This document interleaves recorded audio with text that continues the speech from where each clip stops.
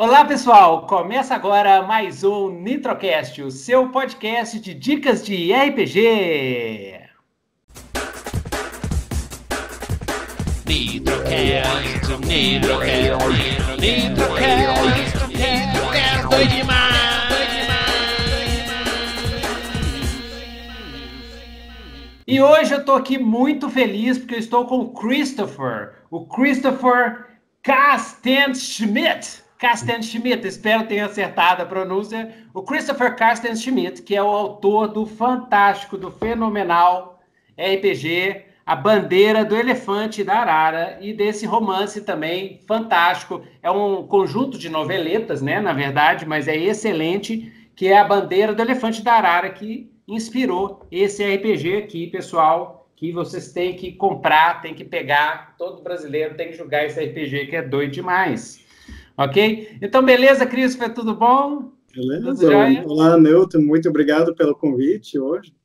Ah, eu que agradeço.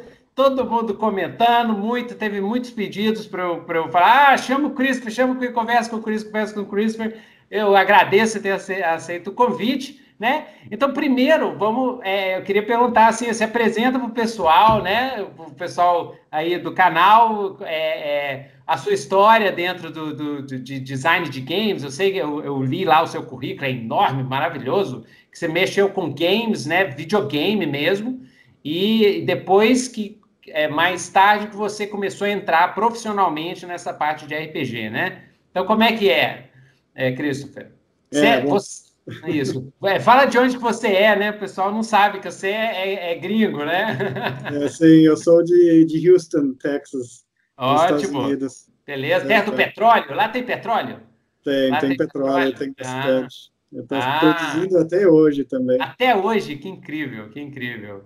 Beleza. Aí você saiu de lá e, é, é, quer dizer, você morou lá há muito tempo, né? Pelo que eu vi, você, você fez engenharia, é, aqueles, aqueles trabalhos sérios assim e tal, até que você resolveu, falou assim, ah, dane-se esse negócio todo, quero mexer com game, quero mexer com fantasia e tudo, né? Beleza, você começou a trabalhar em videogame, com videogame nos Estados Unidos ou, ou no Brasil? É, então, eu, eu estudei engenharia, como falou, comecei a trabalhar na Intel no começo da minha carreira. Tive uns estágios em outros lugares, IBM, AMD, um monte de lugar mas a minha carreira mesmo começou na Intel. Trabalhei uns anos lá e eu trabalhei primeiro com microprocessadores, mas eventualmente eu virei o que eles chamam de uh, evangelista técnica, né? que é a pessoa que leva a tecnologia para as empresas, para... Ah, então, eu comecei a ir para muitas empresas de games uh, na época, tipo o id, que fez Doom e, e Quake, eu trabalhei com ah, eles. Você conhece o John, o John Romero? John Romero, ele chama? O, o, é, aquele Carmack. Eu, eu conheci Carmack. o Carmack. É. Carmack e aquele cabeludo do, do Doom. E, o, não, o Romero eu não conhecia, ele já tinha ah, saído. Ah, né, ah já tinha saído. Para fazer a empresa dele, mas o John Carmack, que era um. Carmack é o que criou a, o engine do, do Doom, exato, né? Exato. Esse, eu, é, eu, conheci ó. ele bem, né? conversei bastante com ele. Lenda, lenda viva, doido demais, legal. É eu, LucasArts, trabalhei bastante com eles, né, que, que faziam ah, jogos de Lucasfilms, né, jogos de Star. Wars, Indiana Jones, esse na época. E o Secret of Monkey Island, que é maravilhoso, Também. maravilhoso, obra-prima. É. eu conheci aqui, ah, ah, que massa. É, foi, foi espetacular, né? Conheci um monte de gente naquela época, legal. E eu comecei uhum. a, uh, cada vez mais me migrar para a indústria de games, na verdade. Então, eu entrei pelo lado de tecnologia. É, é, engraçado, né? Porque as pessoas, hoje em dia, eu trabalho só com roteirista, né? É, com, conteúdo, né? Você trabalha com conteúdo, concepção, conce... é, é, né? Você trabalha com essa parte mais soft, né? Sim. E... Ok, mas, mas você, eu, você, entrou pelo lado hard, né? É, eu entrei pelo lado hard mesmo, assim, fazendo projetando microprocessadores para Intel, né? Nossa senhora! Assim, Foi era hard aí. mesmo. Mas eu comecei a migrar para os games. Eu conheci uma pequena empresa aqui no Brasil. Um dos meus territórios era o Brasil. Então, eu estava vindo aqui, comecei a conhecer o país, comecei a estudar português, né? Já, ah, já adulto. Ah, inclusive, e... seu português é ótimo. Eu dou aula para português para gringo e você tá sensacional. Boa Show, show, show, viu? Parabéns. Obrigado.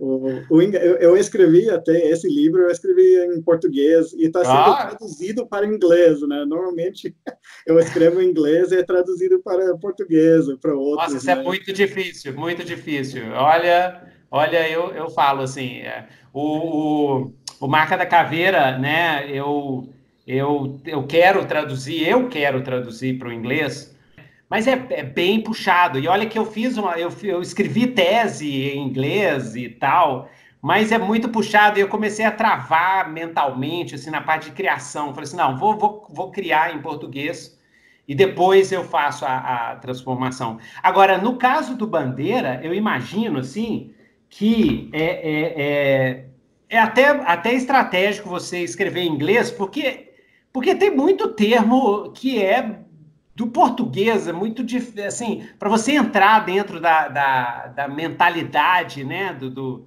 do, do, Brasil, da época, você trabalhar com a linguagem em português, fica, eu acho que para você que está criando, fica mais fácil, não sei, né, capitão, né, dom, dom para lá, dom para cá, voz mecê e aquelas coisas todas, né, não sei, não sei. Talvez, talvez tenha sido mais interessante para você. Com certeza, em inglês seria mais confortável, né? Mas também é um, nossa, um desafio, parabéns, é, é pauleira. Mas os contos, mas pelo voltando aqui um pouquinho no, no Bandeira, né, no livro, os contos você enviou para pro, os concursos internacionais, né? Ganhou nomeação, acho que nomeação ou prêmio no Nebula. É, é, você escreveu em inglês ou, ou, ou você escreveu em português, traduziu para inglês e enviou? É, os contos eu escrevi em inglês. Então, eu comecei. Na verdade, quando eu comecei a imaginar a bandeira, que é, para quem não conhece, né, a gente chama de fantasia histórica, né, é o, uhum. Brasil colônia, século XVI, mas tem elementos de fantasia, tem os monstros, tem boitatá, tem saci pererê, tem tudo isso na floresta. Uhum. E quando eu comecei a bolar esse mundo e pensar, no, ah, eu vou fazer uma fantasia brasileira, eu pensei no mercado internacional. Uhum. Uh, a princípio, até porque aqui, principalmente naquela época, eu comecei a escrever em é. 2006 uhum. e tinha muito preconceito sobre o folclore nacional, né? As isso, pessoas estavam me criticando muito, tipo, ah, isso é muito infantil, isso é... é. E, e, eu lendo esse, esse folclore já adulto, né? Não peguei na infância, né? Como as pessoas aqui pegam muitas vezes, então não, não peguei aquela versão infantil, eu peguei a versão real do folclore, que é Tipo, mula sem cabeça, realmente, é uma mula sem cabeça cuspindo fogo. Isso é terror, entende? Não é infantil, é terror. O, o Capilobo, que aparece em um dos primeiros contos que eu escrevi, uh, da bandeira, é uma criatura que, que quebra crânios e chupa os miolos das pessoas. Uma coisa de alto terror. Então, para mim, eu não tinha essa visão, eu tinha uma visão bem diferente. Eu achei, olha, é uma coisa diferente, é uma coisa que os, as pessoas de fora podem gostar, porque na época ninguém nunca tinha ouvido falar do Saci Pererê fora do Brasil. Quando eu comecei a publicar as histórias lá fora, as pessoas me perguntaram, ah, como é que tu inventou esse Saci Pererê? Que personagem fantástico! E, e, gostaram muito, como falou, o primeiro conto que foi publicado numa revista lá nos Estados Unidos concorreu ao prêmio Nebula, que é um dos maiores é um do mundo. top, é, o Oscar, é. né, é. Do, do, da ficção. Nossa, então, legal assim, demais.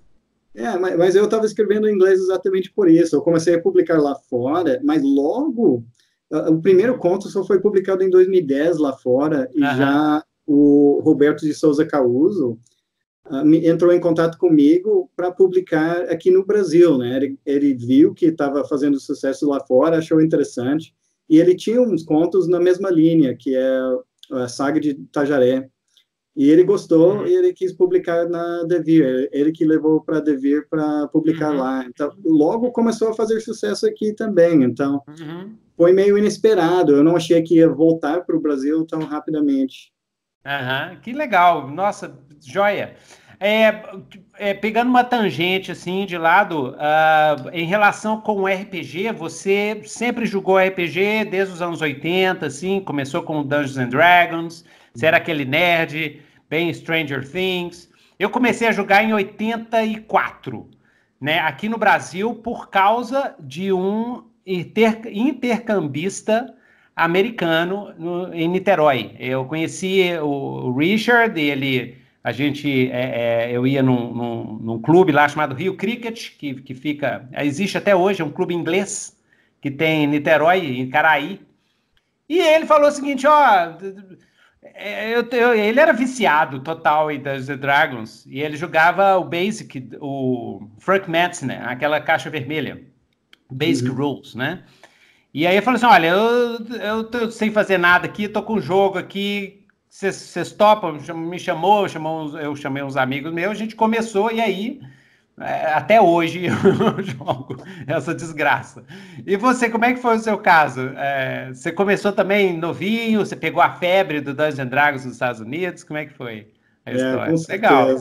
Eu, eu me lembro até hoje, assim, eu, ah. eu tinha uns oito anos, assim. Nossa! Eu, eu, eu, era bem jovem e eu entrei numa loja, livraria, né, que eu adoro, uh -huh. desde cedo eu adoro livros, né, eu sou uh -huh. leitor voraz, né, desde cedo eu entrei numa loja e tinha uma pilha de caixas, e, e era a caixa anterior, era aquela de Tom Mulvey, que eh, tem um, um mago e uma guerreira lutando contra um sim, dragão sim. No, na capa, né, bem antiga. Eu, eu vi aquela caixa lá no meio da livraria, eu, o que, que é isso, né? Eu, e, e, eu peguei, mas eu gostava muito de fantasia já naquela época. Ah, que coisa doida! E, e, era barato, né? Eles fizeram uma versão bem barata, acessível.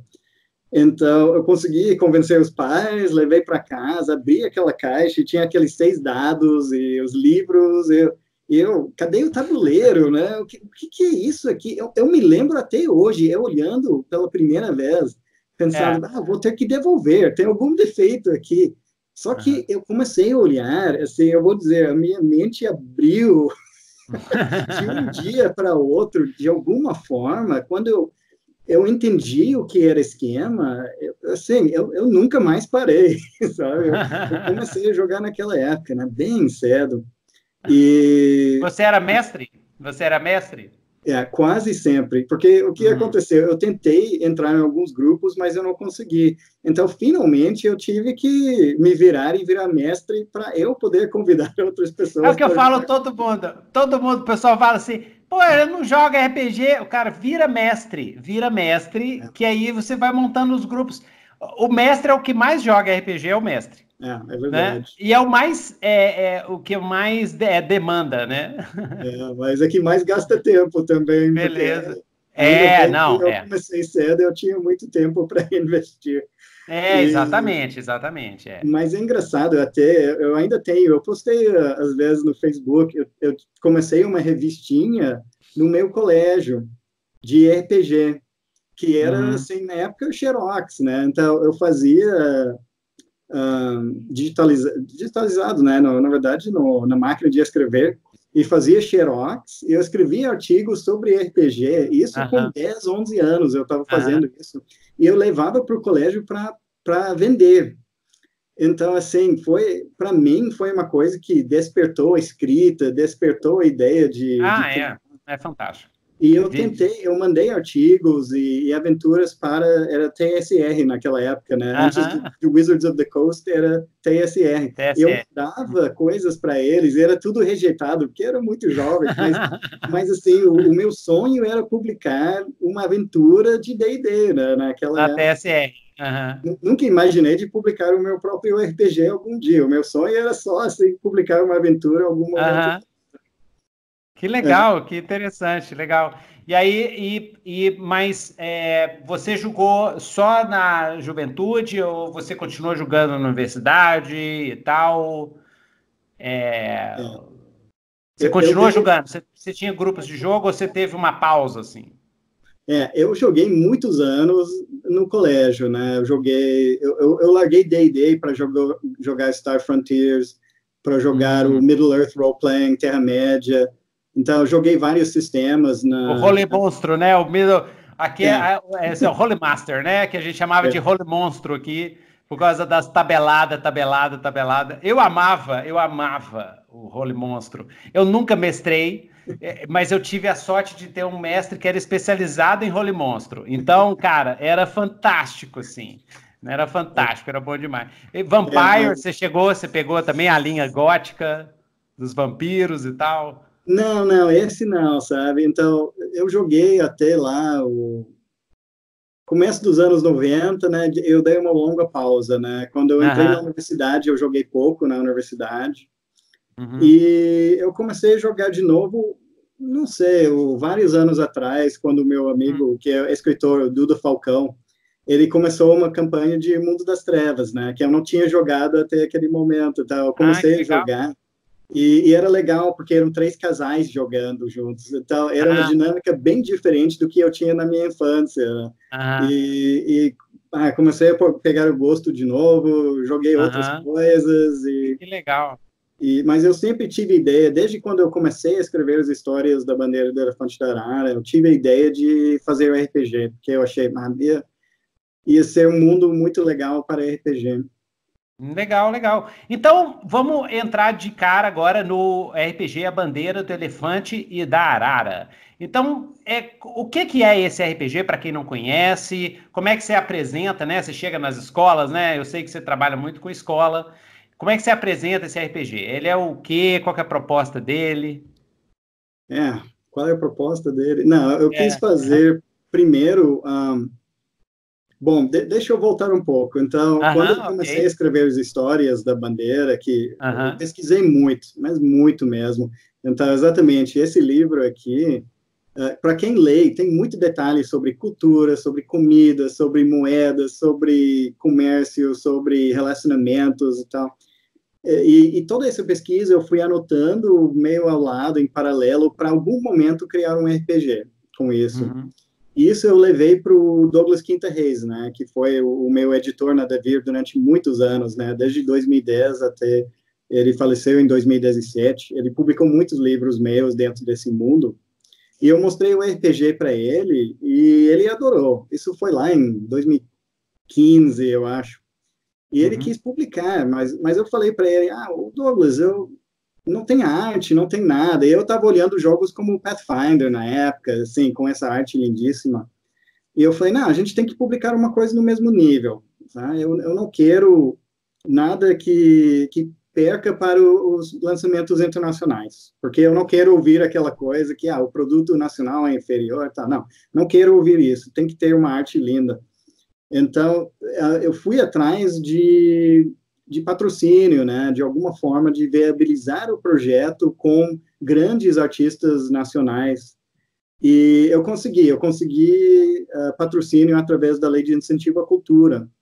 Uh, então, uhum. eu consegui juntar o dinheiro suficiente para lançar um livro uh, com essa linda arte. Agora, aqui uhum. eu tenho a edição expandida e tu vê, assim... Ah, isso, é. Tem, tem uma nova edição. Então, gente, pessoal que está assistindo, é. né saiu uma nova edição do Bandeira com, com mais conteúdo ainda.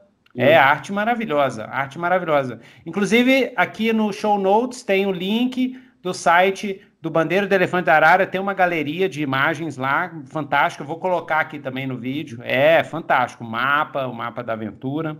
É, então, uhum. esse, esse, livro que tinha o, 200 páginas e mais de 50 imagens. Então, é um uhum. livro ricamente ilustrada por alguns uhum. dos grandes nomes de arte digital, alguns dos grandes nomes nacionais de arte digital. Então, assim, essa foi a minha proposta desde o começo era isso. Não, eu quero fazer uma apresentação lindíssima. Até porque, porque um, uma das pretensões é realmente atrair novos jogadores. E uhum. quando a gente está tentando atingir os jovens, né, estamos competindo contra videogame, que eu, que eu trabalhei muitos anos com games, né, ainda hoje eu trabalho uhum. com games, né, em paralelo. Estamos competindo contra YouTube, né, animação. Netflix. Hum? É, mas Netflix. tudo, Netflix, é. Assim, uhum. então é muito mídia, é muito bem produzida, né, tudo é muito bem produzida. Então não dá para fazer uma coisa meia boca e esperar uhum. atrair um, um, jovem, né? Então, tem que ser uma coisa lindíssima, né? Então, toda uhum. a arte aqui foi... Ficou fantástico, fantástico. Equipe nota 10, uhum. e para trabalhar essa, essa, essa proposta. Outra coisa, outra proposta dentro de todo esse projeto era levar para as escolas. Então, a lei de hum. incentivo à cultura obriga a doação de 10%, mas, na verdade, eu botei 50% da tiragem inicial para as escolas, né? Porque realmente eu quis atingir. Eu, eu acho que a gente conseguiu botar em 200 escolas. Excelente. por aí, assim, os livros para, de novo, introduzir para uma nova geração. Porque, para mim, o RPG foi fundamental na minha formação, na minha imaginação, na minha vida como autor, no, nos meus relacionamentos sociais, eu achei fundamental. Então, a minha ideia era chegar e fazer, inspirar essas crianças da mesma forma. Uhum. Então, a arte é por isso, e também a ideia de fazer um sistema bem simples. Né? Uhum. O sistema que eu montei, eu, eu consigo ir num evento, sentar numa mesa com pessoas que nunca jogaram, crianças, adolescentes, e ensinar o sistema básico em cinco minutos, e começaram a jogar. Uhum. Então, essa foi meta desde o começo. Agora, uhum. o sistema original que eu bolei era mais complexo, mas eu fiz um beta teste de uns seis meses. Eu acho que umas 40, 50 pessoas jogaram o beta, mandaram feedback, e eu consegui refinar várias vezes o sistema. Simplificar. Uhum. O que tem. Um, e, e, usa dados de seis lados também, por exemplo, porque para poder usar na escola, porque a escola Isso. não vai ter um dado de 20 lados, é impossível, é. entende? É. Eu tenho pessoas jogando no interior de Roraima é, com esse jogo, essa, essa, pessoa não vai ter acesso a dados de 20 lados, ah, não é impossível. É. Então, tudo Legal. focado para realmente formar novos jogadores. Agora, uh -huh então, eu estava esperando mais novos jogadores, mas na verdade a comunidade de jogadores em geral abraçou o jogo também. Então, está tendo uhum. sucesso também entre o público que já joga há anos. Então, está muito legal. Vamos falar um pouquinho do cenário. É, então, como é que é o cenário do Bandeiro do Elefante da Arara? Não.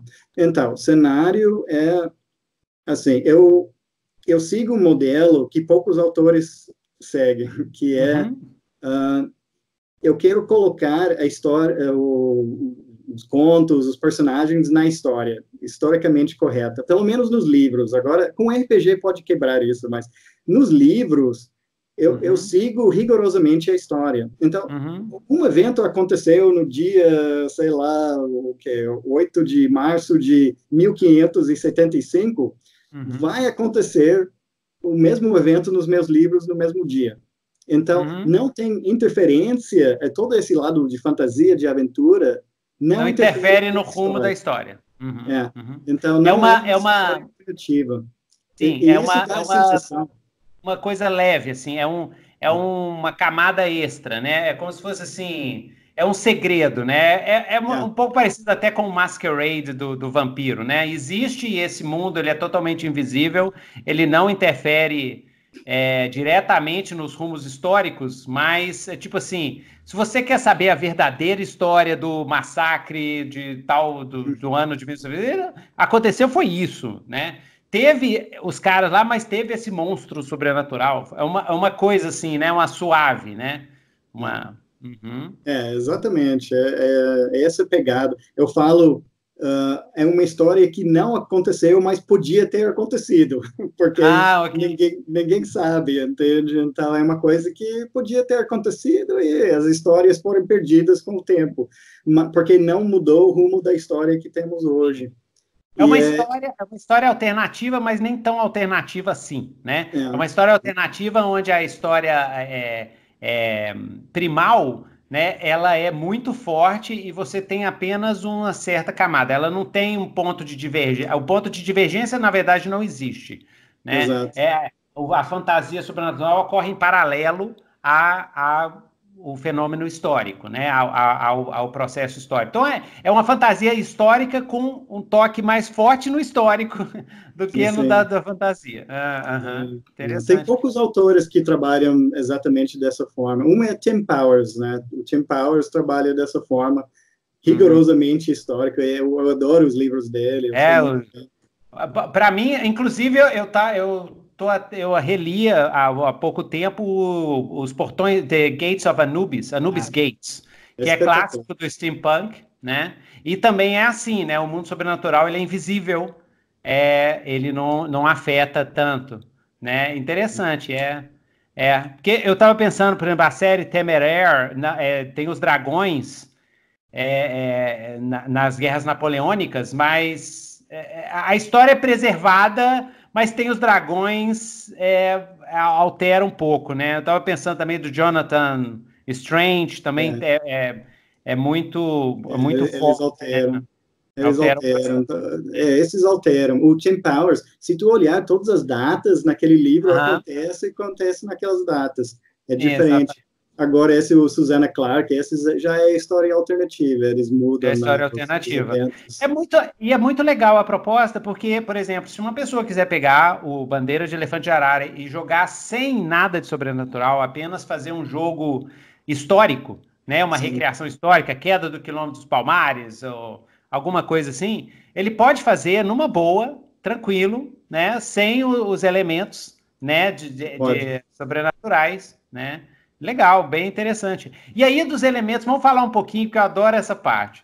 Vamos falar um pouquinho dos elementos sobrenaturais. Né? Uma das coisas que eu achei legal que eu estou fazendo na resenha é o lance da magia. Então, explica um pouquinho o sistema de magia para o pessoal, porque eu achei, achei genial, assim, achei bem bolado.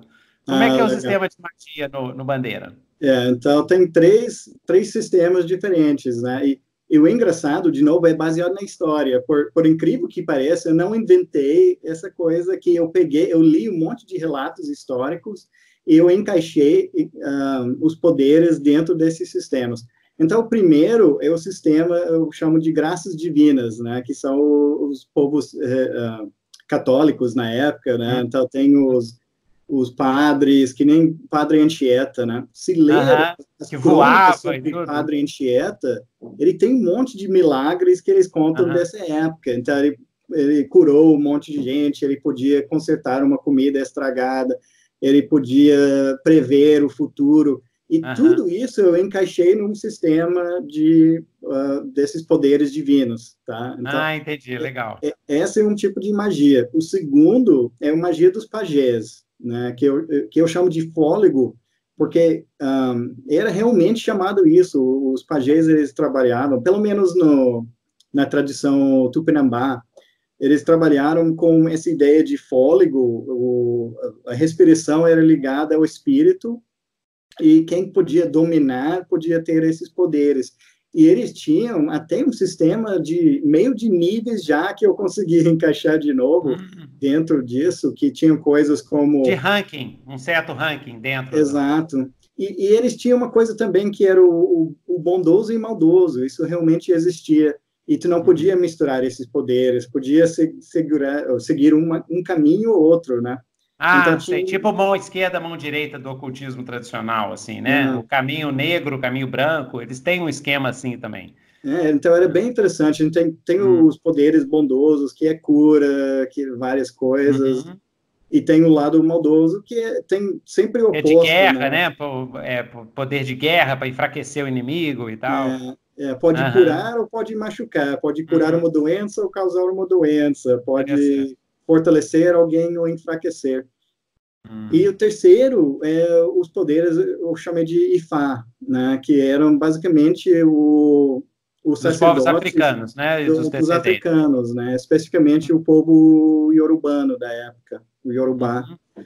É, e então assim eles meio misturam as coisas então eles podem misturar qualquer coisa não eles não têm esse, uhum. essa coisa rígida que os outros têm. Mas uma coisa em comum é que os sacerdotes, nenhum desses usavam armas, né, portavam armas. Então, eu coloquei isso no sistema, eles não podem uhum. portar armas. Às vezes as pessoas reclamam, mas uhum. eu gosto, assim, eu, eles acabam sendo de suporte e buff, né, tipo, dar um, uhum. um buff, uma cura em alguém, e eles têm muitos poderes que aplicam fora do combate. Eles são muito legais para interpretação de papéis mesmo, porque é, se bem que tem o, tem o pessoal da capoeira, né? O capoeira não tem arma, né? Você poderia fazer um, um mago, um, um feiticeiro, né? Yorubá que sabe lutar capoeira.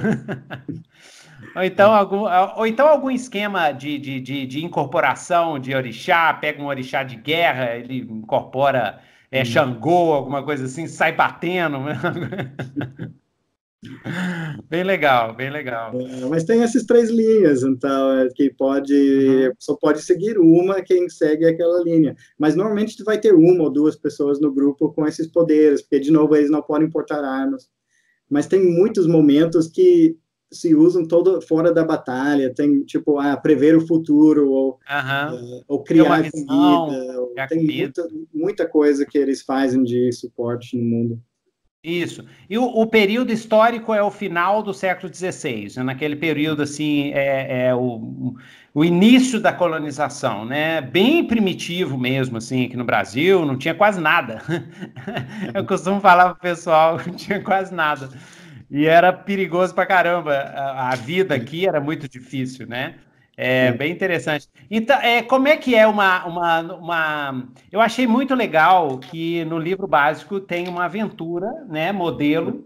Tem uma aventura. Eu sempre acho legal ter essas aventuras iniciais, assim, é, porque dá uma noção.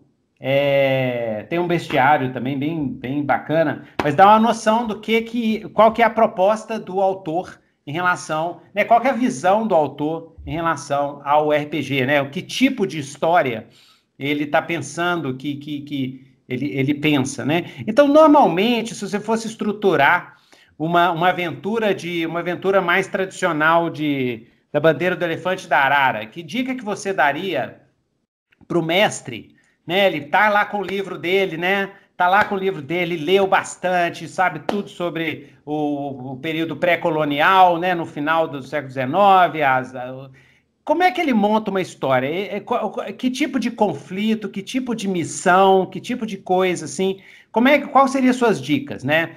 Pegar um, um, um, fato histórico, ou então do nada, falar assim, ah, vamos, tem o, o Muraquitã, que é uma peça mágica indígena no lugar tal, vamos lá pegar a peça. Como é que é que você, você qual seriam suas dicas para quem fosse criar uma aventura para o elefante? É, o interessante é que é muito aberto, assim, você falou uma coisa interessante, que pode ignorar toda a fantasia e jogar de forma histórica. Ao mesmo tempo, tu pode jogar fora toda a história e jogar só de forma totalmente, totalmente de fantasia. Fantástico. Uhum. Então, dá para levar em muitos lugares diferentes. Agora, eu gosto de aventuras não lineares. Tá? Eu, uhum. eu, gosto de deixar o jogador escolher seu caminho. Então, uhum. tanto a aventura que tem no final do livro básico, que é uma aventura de investigação, que as pessoas têm que ir procurando coisas diferentes, e, e tanto a aventura que eu escrevi, que vai com o escudo do mestre, né, que é que, que é misteriosa Seis Maria de Dom Perestrelo, que vem uhum, com uhum. o escudo do mestre, são assim não lineares. No, o, o, fato que o grupo pode fazer coisas fora de ordem não vai fazer diferença, né? Deixar um pouco mais de liberdade. Até eu tive um concurso de de aventuras no ano passado, né? E, e, eu recebi várias e a maioria das pessoas botam coisas bem lineares, tipo, mas o linear pode sempre dar mal, né? Porque se o grupo hum. começa a fugir daquilo, não, não tem como voltar, certo? Deve saber muito bem. Aham, é, é verdade. Então, eu gosto de meio definir uma área e deixar a coisa acontecer. Eu gosto muito de cenários que tem. O que eu, eu acho, assim, isso para qualquer RPG Hum. Cria. Mas você não tem preocupação em criar um clímax, por exemplo? É, é, essa é a minha crítica com. É, é até interessante. Eu estou até para fazer um, um, uma, uma, um Nitrocast sobre Railroad e Sandbox, ok? Hum. A, a, minha, a minha tese, a minha tese é o seguinte: é Railroad e Sandbox são técnicas. É a mesma coisa que eu falo nos meus vídeos de escrita. São técnicas, ok? Você pode fazer é, acertar tanto no Railroad, acertar tanto no Sandbox, você pode errar nos dois, e você pode criar um, um, um amálgama dos dois que pode dar certo e pode dar errado. Então, então são técnicas, né? É, uma das coisas, um dos problemas que eu tenho com o Sandbox, assim, eu adoro Sandbox, eu acho fantástico, mas eu, eu, eu, eu assim, em termos de, de aventura, é, eu acho que você pode, você precisa do clímax. No meu estilo de, de, de julgar e de mestrar, você precisa criar, porque eu, eu, me, eu me baseio muito nas melhores aventuras, vamos dizer, comerciais, assim, que eu já julguei, né? Da TSR, da, é, de várias, várias fontes. É, você tem aquele momento da exploração que é excelente, que é muito bom e que você tem que deixar o negócio rolar. Mas você tem que criar um clímax para uma, uma aventura ou para uma campanha. Sem o clímax, eh, o negócio não rola, né? Ou se você faz uma aventura de sandbox e você dá dicas para clímax, você pode botar umas seis ideias de clímax. Esse é o estilo bem Gary Gygax da coisa, né? Ele terminava os módulos deles com um, uma série de ideias de como é que você pode resolver a dungeon, né? Como é que você pode fazer o clímax.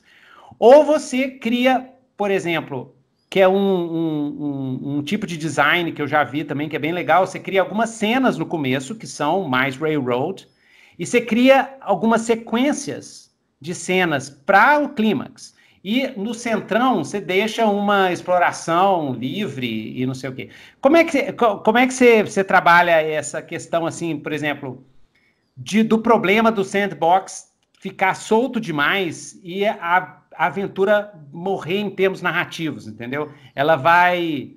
É, porque isso já aconteceu comigo em mesa. Se a, se a aventura é muito solta, e o mestre vai deixando, se ele perder o fio da meada, se ele deixar de construir uma história, porque o mestre, apesar dos jogadores estarem explorando tudo, o mestre tem que construir os arcos de personagem, tem que criar uma progressão e fazer um, um clímax dramático para poder dar aquela sensação de yes, conseguimos, né? Senão, uhum. é, até, até em, em, em, RPG Morpg, né? até em World, War, World of Warcraft e vários RPGs de exploração, tem aquelas sequências de cenas que, que é para dar uma sensação de compleição de alguma coisa, né? Até mesmo nos, nos, nos jogos do, do, da Roadstar, do, do da, da é, é, San Andreas, né? Eu gosto, eu gosto. Ah. É, eu acho que é o trabalho do mestre encontrar o, o clímax no final. Eu, eu posso dar um exemplo perfeito, que eu uh -huh. joguei umas duas semanas atrás, eu mestrei no Menera, e eu mestrei uma aventura pronta. Só que, eu vou dizer, eu, eu segui o roteiro da coisa, que é muito linear, mas teve um evento que era para ser um evento aleatório, que eles deram um parágrafo em toda essa aventura, deu um parágrafo sobre Sim. um evento que podia acontecer. Aconteceu, só que algumas das pessoas escaparam meio depois de uma batalha e voltaram e voltaram de novo. Então, eu usei aquilo e aquilo virou a batalha final, virou o clima. Ah, certo, certo. Era mais, virou mais interessante aquela interação do uhum. que o que eles tinham planejado no livro, que eles até chegaram até aquele final, mas eu vou dizer, ficou mais legal esse climax que, que eu fui construindo com os jogadores ao longo da, do tempo, né? Então, eu acho que é legal, sim, planejar, tipo, mais ou menos o que vai acontecer, mas uhum. tu tem que ter o plano B, entende? Tem que estar preparado para, se tudo der errado, eu, eu não, o que eu não gosto é forçar os jogadores, porque de repente fica é, muito é forçado. É. Isso eu acho horrível, isso que eu quero evitar, porque vão dizer, ah, é, tu vai ter que, agora tu ganhou essa missão. Eles, eu não quero, porque motivo A, B, C, o meu personagem não ia fazer isso. E, e tu fica, como é, como é que eu vou forçar a pessoa a fazer isso? Em, em vez de, disso, não, eu, eu penso, e o que eu ia dizer, né, quando eu estava começando, criar personagens profundos. Esse é o segredo de literatura, esse é o segredo de animação. Eu, eu escrevo roteiros para desenho animados também, eu escrevo roteiros para games, eu trabalho em muitas áreas. O segredo de tudo em um ambiente legal e personagens profundos. E isso uhum. no RPG, tu vai ver no esse Fogos de Bertioga, eu dou uma descrição de todo mundo. Nunca é simplesmente, ah, esse cara é dono dessa loja. Não, não, não vou acabar. É tipo, ah, ele não gosta de tal, ele vai falar mal desse outro, ele tem um cachorro que é amigo dele, uhum. e, e esses pequenos detalhes, esses sementes, são suficientes para criar uma aventura inteira. E, e, exatamente isso que eu quero chegar. Porque o, o, mestre pode chegar naquele momento e o grupo começa a fazer outra coisa, mas o mestre já tem os personagens em mente uhum. e ele pode reagir como aqueles outros personagens. Então, esse para mim é o segredo. Eu acho que todo mundo deve, cada vez que joga um, um personagem não jogável na aventura, deve pensar como é que é a personalidade, minimamente, alguns detalhes legais. Motivações, esse... né? Motivação é, é tudo é. também, né? Assim, o que que o que que esse personagem quer nessa cena, né? Você começou a cena, O que, que ele quer? O, qual, que, o, qual que é o objetivo dele? O que, que ele pensa? O que que, como é que ele vai reagir com esses jogadores de acordo com o que ele valoriza? Se ele é uhum. amigo do cara que eles estão investigando, ele vai defender o cara. Se ele é inimigo do cara, ele vai, tipo, dedar onde o cara tá, por exemplo, né? É, esse aqui, de novo, esse que eu, eu publiquei ano passado, Uhum. Eu joguei, antes de publicar, antes de colocar em formato final, eu joguei, acho que com quatro grupos diferentes, em quatro eventos diferentes. Então, pessoas de, de estados completamente diferentes. Uhum. Cada Testar aventura. aventura. Uhum. E, de novo, é, já que é o sandbox, cada aventura foi radicalmente diferente. Eu até diferente consegui eh, botar mais detalhes, tipo, conforme um grupo tentou resolver alguma coisa eu podia já meio prever aquela situação e, e eu dar as ferramentas para dar certo ou criar problemas para não ficar tão fácil. E, e, foi muito interessante, mas tinha muitos momentos que eles começaram a interagir tanto com esses personagens que eu criei, porque, de novo, eu dei profundidade, então eu podia criar aventuras dentro de aventuras. E eu acho que isso que é legal para uma campanha. A, a, bandeira é diferente, a gente não trabalha com XP para combate. Tu não ganha uhum. XP no combate, tu uhum. ganha XP na interpretação do papel mesmo, entende? Que eu acho que é o fundamental para mim. É, é, ter, é, é, interpretar o papel, buscar soluções legais, trabalhar como equipe, um, uhum. desenvolver histórias boas, entende? Em vez de, ah, eu vou ficar matando, matando, matando para ah. fortalecer. Uma coisa que eu achei interessante, você não usou atributos, não tem atributos é, básicos no seu sistema. Também. É, no, antes tinha, você decidiu tirar, você decidiu usar só um sistema de, de habilidades. Por que, que você tirou os atributos? O que, que você achou?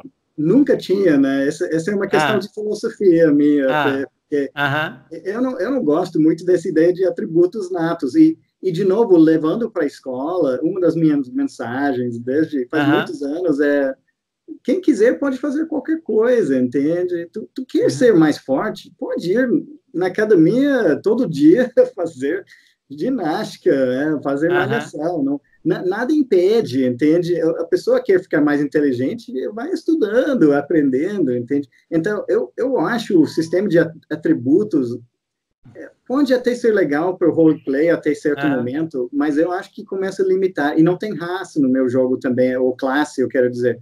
Não tem hum. classe também, porque eu acho muito limitante. Eu prefiro montar um personagem com as habilidades que aquela pessoa quer colocar, né? Então é só Sim. habilidade. A pessoa vive a vida e vai adquirindo habilidades ao longo da vida.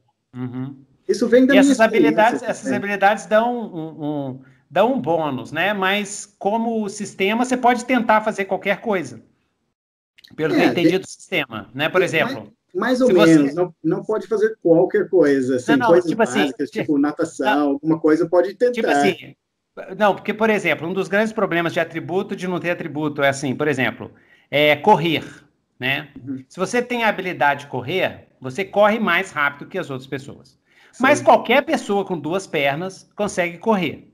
Sim. Então, o seu sistema, se alguém falar assim, ó, eu tô correndo, você tem habilidade de correr? Não. Então você não pode correr. Não, aí não, não, não, não faz muito sentido. Não, Ele vai fazer o um teste sem bônus, né? O correr é, é o quê? Não, a habilidade de correr é de uhum. correr muito mais rápido, muito mais longo. Muito mais, exatamente. Então, você normal, só... não é então, isso. Você... Então o sistema assim, ele, ele, ele imagina um ser humano neutro, né? Assim, neutro, capaz de levantar, pular, correr, mas de uma maneira assim, que a gente chama de normal, sem treinamento, sem nada, né? Uhum. E as habilidades são aquelas coisas para qual você tem treinamento e vai acima uhum. do normal. Essa seria a filosofia, né? Sim. Correr exemplo. correr uma maratona. Se eu, se eu tentar correr uma maratona, eu vou morrer. não, tem, não tem chance, né? não tem rolagem do dado que vai. Cara, vai, vou saltar o, vou saltar a cerca. Você tem habilidade de saltar a cerca? Não tem habilidade de saltar a cerca. Então você vai saltar como se fosse você mesmo saltando uma cerca, né? E, e, e... mas é, é, é, interessante, é interessante porque aí simplifica mais a rolagem. Eu vi que o, o dano é fixo também, né? Você colocou dano é como é dano fixo dano fixo e qual outra coisa? Não é. tem armadura e, e, RD, né? Não tem armadura não É, como é que é, tem, que é a armadura? Acho que é defesa tem passiva. Tem armaduras que modificam a defesa. Tem a defesa ativa, passiva. É. Mas assim, o dano entra caso passe da defesa passiva, não é assim? Sim, sim. Ah. Então, a questão, isso que eu, essa é muito importante para o sistema, quando alguém ah. pergunta ah, como é que se joga, ou que. Separa, é muito mais um sistema de estratégia do que azar. Tá? Eu, uhum. eu, eu, quero deixar isso muito claro. Dano fixo faz a decisão mais estratégica. Agora, uhum. rolagem do dado para dano é mais azar, né? Tipo, ah, eu vou rolar uma ou vou rolar oito, entende? Está meio... É. é aquilo. O próprio D20 é muito, assim... É. Eu acho um pouco é, é, jogo de azar, mas, é, é mas, é muito, a rolagem é, é muito ao mesmo radical. Tempo, ao mesmo tempo, é o que dá o, o aquele gostinho, aquele vício do, da, da aposta, né? Eu já pensei muito sobre Exato. o D20, a questão dos 5%, que é a curva de probabilidade é uma coisa louca. E, mas é aquele lance, quando sai o 20, a, a mesa endoida. Quando é. sai um, o pessoal endoida também, porque a chance é muito pequena e tal. Mas é, faz parte do. do, do é, tudo é de acordo com a proposta, né? De, tudo de acordo é, é, é, com o clima, com o tipo de, de, de emoção e de sensação e de, de, de, coisa que você quer produzir no jogo, né? Que, que, que gera. Então faz parte e é bem interessante. É, você falou, então vamos falar mais um, pouquinho do, do Bandeira. É, além do livro, além desse livro básico, né, do, do livro de interpretação de papéis, já Sim. saiu um monte de material, né? Fala aqui pra gente, aí no vídeo eu vou botar os, os, gráficos todos, né? Mas fala aqui pra gente o que mais que saiu. É, já saiu o Escudo do Mestre, com hum. arte de Lucas Torquato. Eu, eu, tenho aqui, depois, se quiser tapar com ah. a, imagem mesmo, mas ficou lindíssimo esse escudo. Não sei ah, esse escudo do mestre. Ó, oh, que legal. Olha, nossa, fantástico. É, ficou bem bonito. Tem um, esse suplemento que é a Capitania Real do Rio de Janeiro, que é hum. é por Luciano Campos Tardoc, que é, é, basicamente uma expansão das regras, tem novos itens, novas criaturas. Oh, que legal. Legal. Tem uma aventura bem épica, que é mais railroad, né? Mais, é um mais pouco railroad, mais linear do que eu crio, então é, uh -huh. mas é, é, muito épica. Tem sete, oito partes, é, vai é. várias o, sessões para jogar essa eu, aventura. Eu, que eu costumo falar de Railroad, né? É, é, por exemplo, eu sou um alucinado fanático, especialista em Call of Cthulhu, já mestrei as grandes aventuras. E a, a, grande maioria de Call of Cthulhu é Railroad misturado com exploração, mas é mais Railroad. Uhum. O lance do Railroad, que eu falo, pessoal, é o seguinte: o problema do Railroad não é o problema do Railroad. O problema é forçar o jogador. E isso uhum. pode acontecer em sandbox. Eu já vi isso acontecendo em, em aventura de. Em, em, jogo de Dungeon World, tá? Que é totalmente narrativo e aberto e exploratório. É quando o mestre força algo em cima dos jogadores sem sem a permissão dos jogadores. Que é esse que é o, esse que é o. Eu fiquei pensando nisso um tempão, até achar qual que é o problema. O problema é quando o jogador não dá permissão ao mestre, quando quando existe uma quebra do contrato social entre o mestre e o jogador. Então, eu vou voltando ao tempo, quando a gente jogava lá a grande conjunção de Ravenloft, aquela série de, de aventuras maravilhosas de Ravenloft, que é totalmente Railroad, que é a, a grande é, guerra entre o, o Strade e o Azalin, entendeu? E eu tinha um mestre maravilhoso. Ela é Railroad. Mas quando você entra para a aventura, é, a, hoje que eu sei, a gente não fazia isso consciente. A gente queria jogar a grande conjunção. Então o mestre falou assim: eu vou mestrar a grande conjunção. Então a gente sabia que ia ter cenas. E a gente queria essas cenas, a gente queria vivenciar essas cenas. Então, você como jogador, você não se sente forçado, porque você topa a coisa. É que nem quando você joga o videogame do game do God of War, por exemplo, Sim. e você sabe que você controla o boneco umas horas, mas que outras horas é, é um filme. É como se fosse um filminho. Você Sim. sabe disso e isso não te impede de curtir, de, de, de achar doido, de, de achar legal a história e tal. Então, acho que o lance é, do Railroad ou não, é exatamente o que você está tá falando. Já que você tem essa aventura, você já avisa para o pessoal que vai comprar: olha, gente, é uma aventura dividida em oito partes. ela é mais railroad, as cenas são estruturadas. Você tem que falar isso para os jogadores, para os jogadores entenderem a proposta. Ah, a proposta é essa, massa. Que aí eles, que aí você, quando você joga, você já colabora com o mestre em participar da cena dentro daqueles limites, dentro daqueles parâmetros. É, é, e, assim, sem querer defender, eu gosto dos dois estilos, mas é, a liberdade é boa, é boa, ajuda a criatividade, ajuda, mas limite ajuda a criatividade também. Isso é uma coisa que eu aprendi ao longo do tempo, escrevendo, fazendo um monte de coisa, de, em termos de arte. Muitas vezes, quanto mais limitado você tem, você olha, você fala assim, ó, você só pode atuar dentro disso aqui. Muitas vezes isso vai aumentar a sua criatividade, porque vai focar a, o, seu, o, seu, esforço. Então, por exemplo, se eu virar para você e falar assim, ó, eu quero que você faça um videogame preto e branco com uma bolinha e uma, e uma linha reta. É capaz de sair uma coisa fantástica, porque eu limitei. Mas é, é só, é, é, isso é, não tô, não, não quero falar. Eu adoro sandbox, entendeu? Minhas aventuras normalmente quando eu faço são sandbox, mas é só para dizer que existe espaço para as duas, se o mestre comunicar direitinho para os jogadores, assim, olha, gente, essa aventura é oito, oito cenas, né? Oito, oito partes, né? E, e onde que se passa essa aventura de oito partes? É, mas, essa... o, o, game design é isso, é sobre é. limites, assim, o game design é. escolhe os limites do mundo e que as pessoas podem fazer. E é, mas é gosto, assim, é gosto, é. porque eu, eu, prefiro mais aberto, eu sempre prefiro mais aberto, mesmo quando eu estou trabalhando com games, né, mesmo de jogos digitais, e eu trabalho há anos, e é aquela questão, eu estou sempre tentando abrir os limites mais, um pouco, né, para não ficar assim muito forçado. E porque às vezes chega um momento no game que eu penso, ah, não ia fazer isso, simplesmente não ia ah, fazer. E, e eu sou forçado, né? E aquele momento quebra para mim, como tu falou, não tem a minha permissão de fazer isso. Né? Isso, aí não, eu, não eu tem não estou pensando, não é ah. o que eu, eu faria, o que eu interpretando aquele personagem ia fazer. Então, isso para mim sempre sempre atrapalha. Ah. O bom do RPG, eu acho que é a liberdade de interpretar o papel, de, de se ah. colocar naquele mundo. Mas esse aqui, esse do Luciano, acontece Uh, é no Rio de Janeiro, né? Tem uma invasão dos franceses e ah, tem uma, uma, toda essa parte que eles têm que defender a colônia e se juntar. Essa, essa capa maravilhosa do Guilherme da Casa aqui já já está virando uma das nossas imo, imagens icônicas. Básicas, né? Icônicas. Uhum. E, e, e, a ideia é essa, né? Tu vê nessa capa eu, é a diversidade do jogo, né? A gente tem, tenta misturar todos os povos que tinha naquela época. E, essa, essa, é a parte de história alternativa, né? Porque não tinha tanto assim cooperação. É, é, é, isso, é isso que eu fiquei pensando na hora que eu li, assim.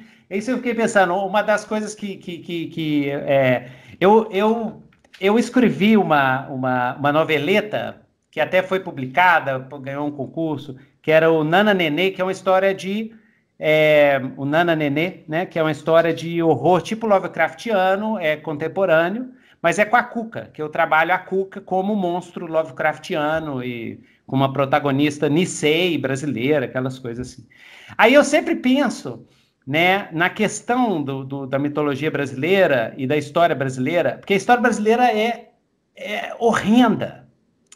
E é difícil de você trabalhar é, é, se você vai trabalhar história, romance histórico, você tem que trabalhar de um aspecto assim intelectualmente honesto, né? Você tem que mostrar que era horrendo, era barbárico, era bárbaro demais a situação, né? É, é, é, eu, eu recomendo todo mundo ler os livros do Agripa Vasconcelos, que é um escritor mineiro que ele tem uma mais de 20 livros, romances maravilhosos, teve que, vários que viraram novelas de televisão, da Chica da Silva, e ele narra toda a história de Minas Gerais, várias histórias de Minas Gerais, desde o período é, pré-colonial, colonial e, e, e, quase chegando ali no século XIX, no, no, na, na, virada do século. E é, e é uma coisa assim, é, é, é impressionante a, a, crueldade, assim, as coisas absurdas que aconteciam aqui né?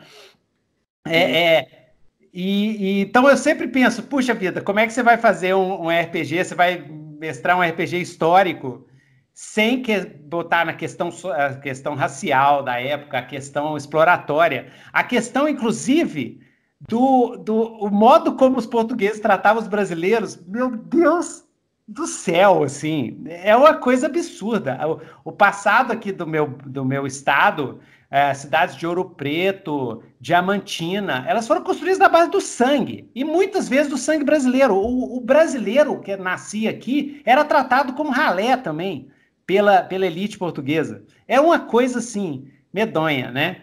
Mas é, é, legal você criar uma fantasia e oferecer uma, uma, uma visão alternativa de uma história, né? É como se fosse uma espécie de redenção de, de, de desses, desses é, é, traumas históricos que a gente tem. Os Estados Unidos também têm, né? Todo mundo, né? Todo mundo que foi colonizado é, é, tem essa, essa história trágica, né? E, mas, mas bem interessante. Então, nessa, nessa aventura se junta todos os povos para uhum. enfrentar para enfrentar os franceses, né? Sim, é, é, é, na época da guerra do, dos tapuias, da Confederação Tamo, do Tamoio, da Confederação. Sim, sim, é bem. Ah. Exato. Hum. Então, tem, tinha esses lados, tinha quem trabalhava com os portugueses, contra os portugueses. Agora, como eu falei, não precisa trabalhar. Eu, eu acho que não precisa pegar todo o peso histórico, até não recomendo. É a mesma coisa de jogar D&D uhum. e tentar botar todo o peso histórico de uma era medieval. É. Ninguém faz isso. Ninguém é. faz isso. Ninguém chega nem perto, entende? Não chega nem então, perto. É. Não, não vamos fazer isso. E, e tá. até eu acho que tem grupos que tentam meio... Eu acho que tem que se liberar um pouco. E, e a representatividade é muito importante. Tu vê todas as minhas capas, né? Sempre vai ter uhum. essa representatividade. Uhum porque também está indo para a escola, se, eu e falo, se né? permitir, né? né? E se permitir uma, uma liberdade é. poética para exatamente, por exemplo, se for, for, fazer uma aventureira mulher na época, né? As, as, as mulheres portuguesas na época ficavam em casa praticamente, né? Não, é. não tinha bandeirante Inclusive, dizer isso é até uma pesquisa interessante, né? Ver se tem bandeirantes mulheres, né?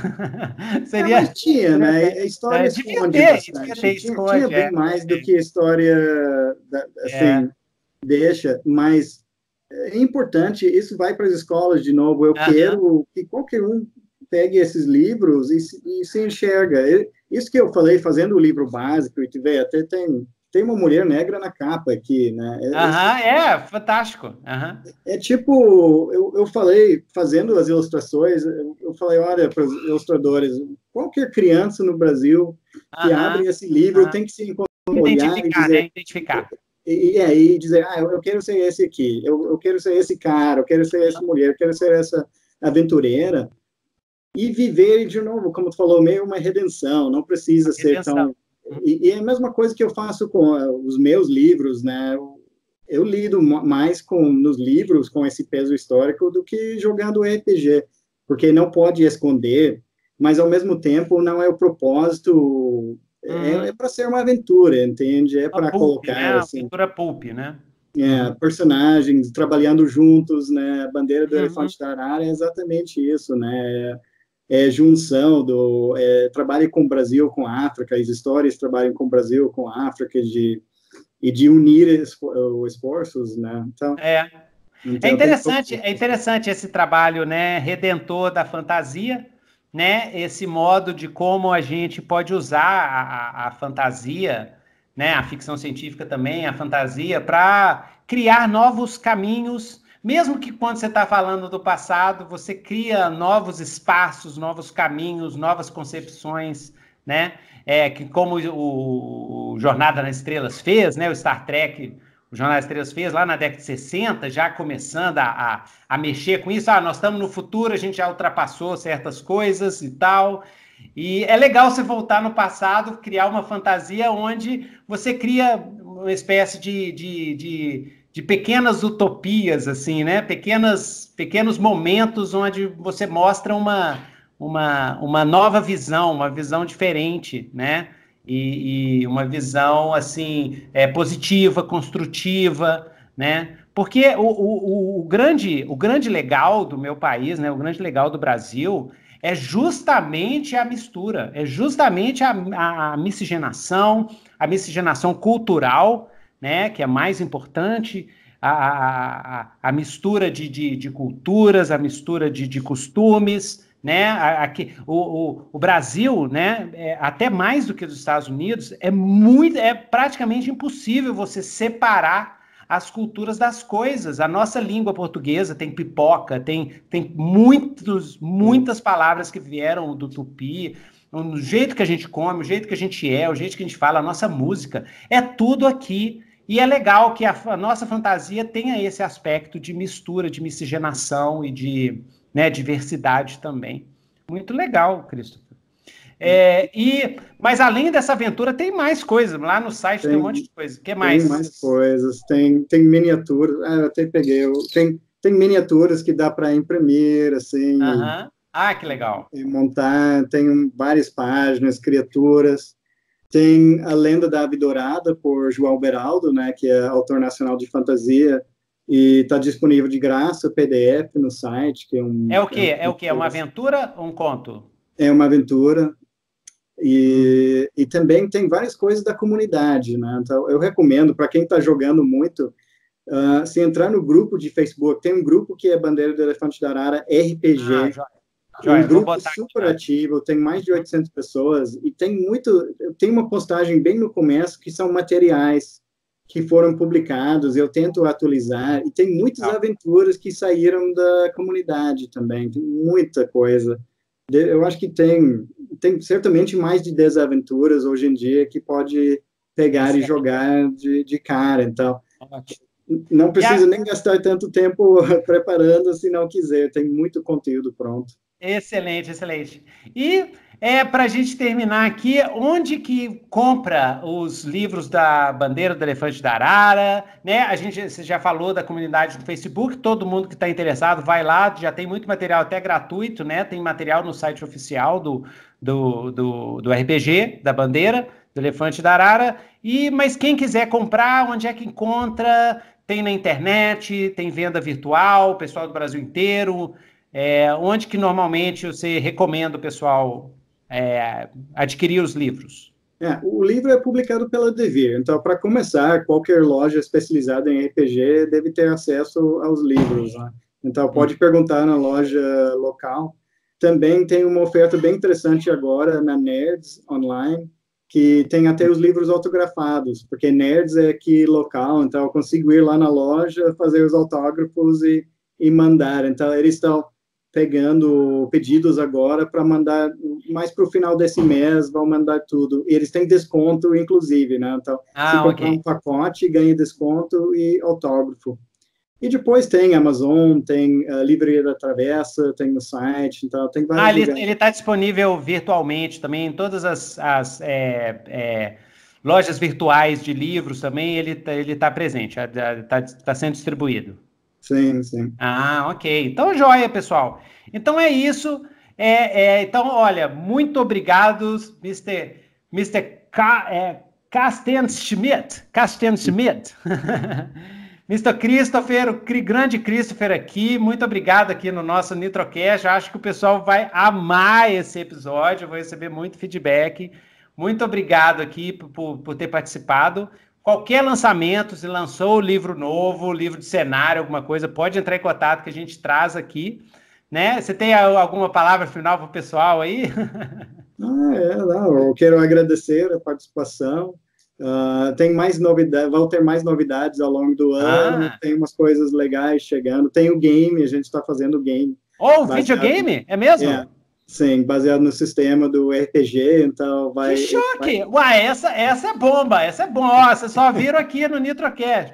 Então, é um, é um RPG, é um RPG de videogame, tipo isométrico? Ou... É. Como é que é? é... Tá, então, é, é, tipo, é uma ficção interativa com um turn-based ah, RPG. Tá? Ah, entendi. Um... Entendi, era aquele, aquele estilo Final Fantasy, assim, né? Que o, é, o um monstro aqui é. Sim, sim, um pouco ah, disso. Que legal. Mas legal, tem muita escrita, legal. muito diálogo, muito, muita Nossa, interação. Mas, mas você está trabalhando diretamente nesse game? Você está escrevendo os diálogos e tudo? Eu ou você está com a galera? Ah. É, eu estou trabalhando com mais dois uh, roteiristas, na verdade, Excelente. que é muito texto.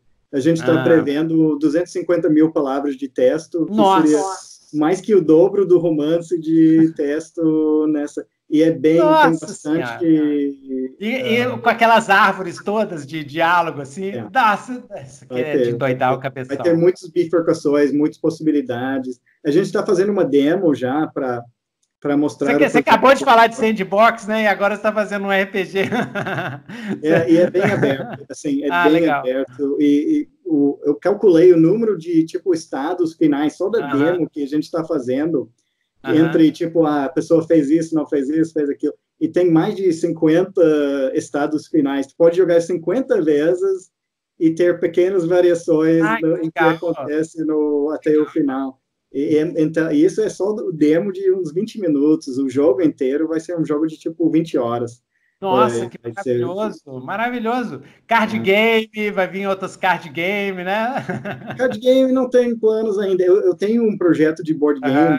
Que eu tinha feito uns ah, anos atrás, só que a gente mesmo perdeu a janela de lançamento. Então tá lá, eu, eu posso uh, lançar em algum momento, só que no, no momento eu estou mais concentrado no RPG. É, no game, né? No game. É. Vai ser para celular? Para celular? Sim, vai ser mobile ou PC. Excelente. Nossa, show, show, show, show. Gente, tá vendo aí, ó, o Christopher. Cara, o Christopher é um cara que vocês têm que seguir, velho. Vocês têm que seguir o exemplo do cara, ó. O gringo chegou aqui no Brasil, sentou o bambu, fez o melhor RPG de, de cultura brasileira, sacou? Porque ele pega e faz. É isso que eu falo, pessoal. Pega e faz. Não fica falando, não. Pega e faz. Toca pra frente. Ó, muito obrigado, Cris. Foi esse foi ótimo ter te conhecido aqui. Vou te chamar outras vezes. Espero você é, é, aqui no Nitrocast outras vezes a gente conversar sobre outros assuntos de RPG, de, de, de romance e tudo, tá? E ó, muito obrigado pela, pela presença. Obrigado, eu que agradeço. E aí, pessoal, esse foi o Nitrocast Bandeira do Elefante e da Arara. Aguarde a resenha, vai ter resenha aqui no canal e até o próximo Nitrocast. Nitrocast, Nitrocast, Nitrocast, Nitrocast, Nitrocast.